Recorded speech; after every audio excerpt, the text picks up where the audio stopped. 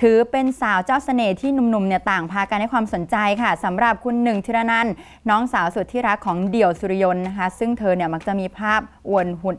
อวดหุ่นแซบๆ ในชุดบิกินี่ตัวจิ๋วออกมาให้เห็นอยู่บ่อยๆ ค่ะ ไม่รู้ว่างานนี้พี่ชายเห็นแล้วเนี่ยจะว่ายังไงบ้างคะนะครับเดือนธันวาคมแล้วนะครับสบายๆครับผมว่าเป็น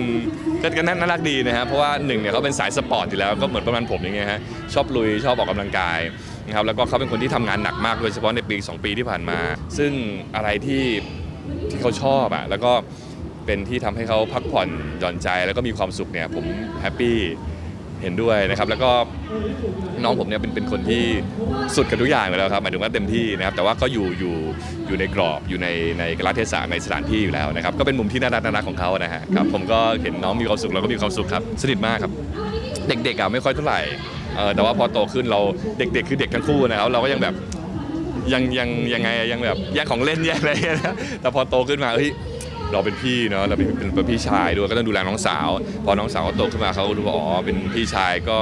ก็ควรจะเรียกอะไรไม่ไม่ดื้อมากนัก แต่โตขึ้นมาคุยกันหลายเรื่องเลย